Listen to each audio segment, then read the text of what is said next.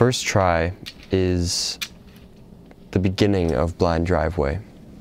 It is a naive project. It is full of songs that are emotional, emo, maybe you could call them. And very pure expressions.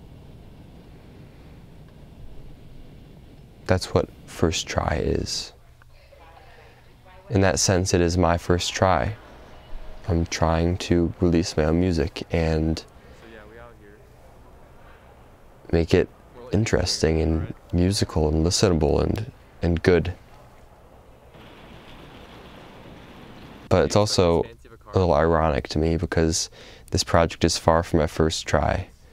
I have tried to make my own music many times throughout high school and throughout college. I've tried to make my own music and I'm just finally getting to that point where I consider it worth releasing. You know, and I, and I could keep it all to myself and wait till I feel like I have this really polished, good project to release to the world, but I don't want to do that. Like, I don't want to be an artist that's trying to make the perfect songs that appeal to a big audience and get a lot of attention. I want to connect with people genuinely. And the people who enjoy Blind Driveway, the people who are going to love this song December that's coming out with this project, and the other song, maybe, you know, that's one of my favorites as well. It's called Blind Driveway. I enjoy that the most. I enjoy that actual human connection with the songs.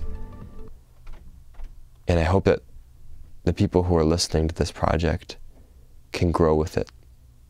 I hope that you can listen to First Try and appreciate it and some of the songs on it, maybe all of them. And then you'll listen to the next album and you'll understand it more, and you'll listen to the next album and you'll understand it more. And I, want, I hope that you watch the vlogs and get to know the people that are associated with my life and with this project. And I want it to become this, this like living ecosystem of understanding and joy and fun. I think that's all I have to say about the project. I might do a track by track video series for anyone interested, whether it be someone who's interested now or someone who's interested years from now when they want to look back.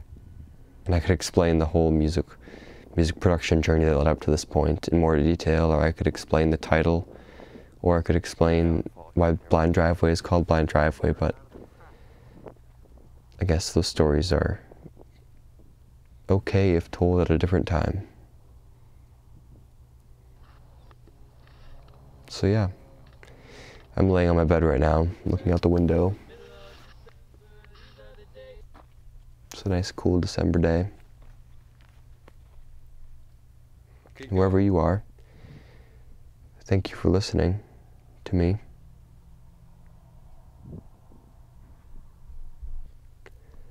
And I uh, am excited to see what you think about this music.